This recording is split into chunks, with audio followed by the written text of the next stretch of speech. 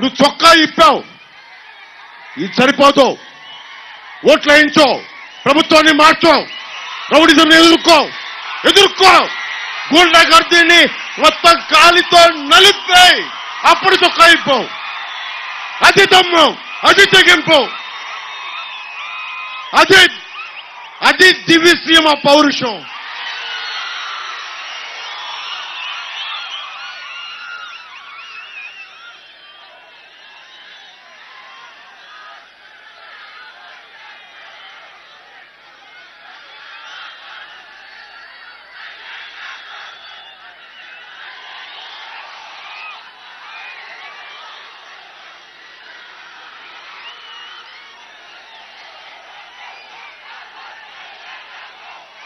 నలభై వేల కోట్లు ఇసుకలో దోచేస్తా ఉన్నారు. ఒక్కొక్క కూర్చోబెట్టి చిన్న బండి ఇసుక చిన్న బండి ఇసుక మూడు వేలకు అమ్మేస్తున్నారు ఎవరి దగ్గరికి వెళ్తున్నాయి డబ్బులు? JP ventures. ఇలాంటి ఒకటి రెండు కంపెనీలు మొత్తం సెంట్రలైజ్ చేశారు. ఇంతకుముందు ఎలా బతికే? పంచాయతీలో ఉండే బీసీ కులాలకి బోట్ల మీద వేసుకుని కూడా వచ్చే అవకాశం వచ్చేది. పంచాయతీలు కొంత శక్తి ఉండేది. పంచాయతీలు కొంత సంపాదించుకునేవి ఈ రోజున మొత్తం కూర్చొని ఒక్కడే దోచుకుంటా ఉన్నాడు. వీళ్ళు క్లాస్ వారి గురించి మాట్లాడతారు. అవనగడ్డ మన నియోజకవర్గం దేవాలయాలకి చాలా ప్రాధాన్యత ఉంది. మోపిదేవి సుబ్రహ్మణ్యేశ్వరుడు హంసల దీవిలో ఉన్న సంతాన వేణుగోపాలుడు గణపేశ్వరంలో ఉన్న కనకదుర్గమ్మ ఆలయం కృష్ణానది సాగర సంగమం మనం చెప్తారు కదా కాకి మునిగితే హంస అయింది అనేది. సగటు పాపాలన్నీ పోతాయి. అంటే అలాంటిది అంటే మనం కూర్చోబెట్టి నిజంగా మారాలి అంటే ఎందుకు కాకి హంసకి తేడా అంటే అంటే తక్కువ ఎక్కువ అని కాదు. హంస ఏంటంటే చెడును వదిలి మంచిని మాత్రమే తీసుకుంటుంది. నీళ్ళను వదిలి పాలునే తీసుకుంటుంది. ఏది పడితే అది నోట్లో పెట్టుకోదు. అందుకనే కాకి కూడా ఏం చేసిందంటే మునిగితే అది ఏ శాపవశాత్తు ఏం జరిగిందో తెలియదు కానీ అది వస్తే అది హంస అయిపోయింది. అంటే అంత స్వచ్ఛంగా ఉంది ఇక్కడ అంత పవిత్రత ఉంది ఈ నదీలో ఈ ఈ నేలలో చెప్పడం దీని ఉద్దేశం. ఈ పురాణ కథలకు ఉద్దేశం.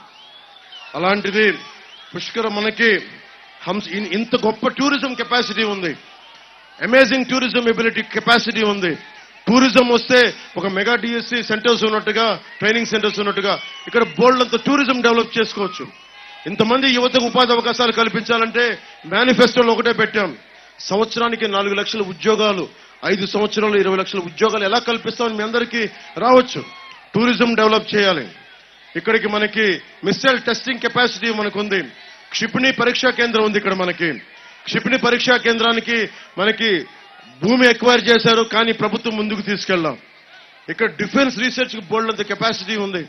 దాన్ని ముందుకు తీసుకెళ్ళొచ్చు బోర్డులంత ఉద్యోగాలు. ఈ రోజున మెగా డిఎస్సికి ట్రైనింగ్ సెంటర్స్ ఎలా ఉన్నాయో రక్షణ మనకి డిఫెన్స్ ఎగ్జామ్స్ కూడా ఇది బేసిక్గా ఇక్కడ మనం తయారు చేయాల్సింది ఇక్కడ.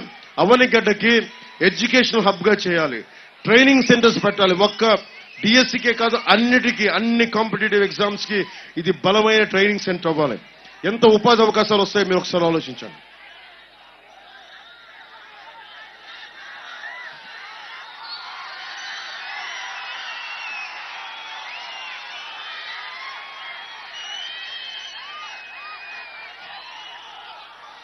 ఆడబిడ్డలకి మేనిఫెస్టోలో రెండు వేల పంతొమ్మిదిలో కూడా చెప్పాను.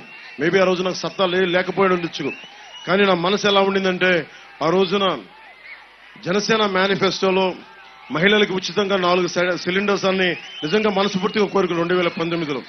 కానీ ఈ రోజున ఒక సిలిండర్ మీకు తగ్గినా కానీ ప్రతి కుటుంబానికి ప్రతి ఉన్న మహిళల కుటుంబానికి మూడు సిలిండర్లు ఉచితంగా కొంత బరువు తగ్గించాలి.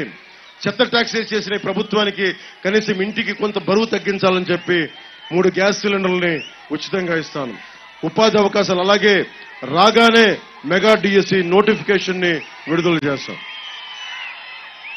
అలాగే రైతుకి ఇరవై వేల రూపాయల సంవత్సరానికి అలాగే ముఖ్యంగా ఏ మూలకెళ్ళినా మనం అణగారిన వర్గాలు అణగారిన వర్గాలు బీసీలు అంటాం.